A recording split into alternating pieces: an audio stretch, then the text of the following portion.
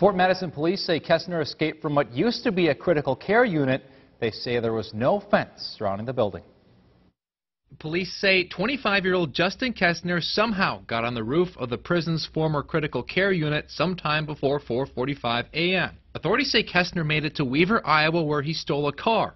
He was located just south of Geneseo, Illinois, and apprehended by Illinois State Police. It's very, very rare for us to have any escapes. Fred Scaletta with the Iowa Department of Corrections says they are investigating. He is in custody, and so there, there's no threat or uh, security or concern to the public. Scaletta says the escape had nothing to do with the condition of the prison, which was scheduled to be replaced by the new Fort Madison prison more than a year ago. That prison has been an embarrassment to our state for some time, and more embarrassing is the colossal delay after delay with construction problems. Iowa Representative Kevin Koester says he will be a part of a team asking questions of the state to get the new prison open as soon as possible. So there is a comedy of errors that have piled one atop of another that do cost our taxpayers extra and have obviously been a, a problem to not only safety, but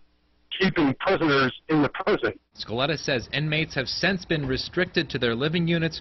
Protocol for an escape. He says the warden staff will look into exactly how this happened and make sure it never happens again. Certainly you don't want anything like this to happen or expect it to happen, but sometimes uh, the things will happen and we got to take the steps we can to try to prevent it from happening in the future.